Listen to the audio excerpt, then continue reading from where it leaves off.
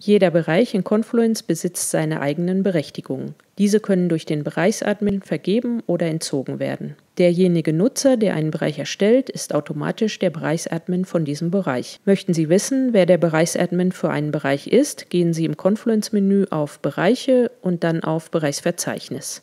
Danach klicken Sie auf das Infosymbol neben dem jeweiligen Bereichsnamen, um die Bereichsdetails aufzurufen. Im Bereich Konfigurieren-Dialog finden Sie den Bereichsnamen und Schlüssel, einen Link zur Startseite und sehen, wer den Bereich erstellt hat. Genauso sehen Sie eventuell die weiteren Admins des Bereichs, wenn es diese gibt. Für jeden Bereich können die folgenden Berechtigungen vergeben werden. Anzeigen oder Löschen des gesamten Bereichs, Hinzufügen und Löschen von Seiten, News, Anhängen und Kommentaren, Beschränkungen hinzufügen und löschen, E-Mails löschen, Exportieren des gesamten Bereichs und es können auch Admin-Rechte vergeben werden. Im folgenden Video gibt es mehr Informationen zum Vergeben von Bereichsberechtigungen.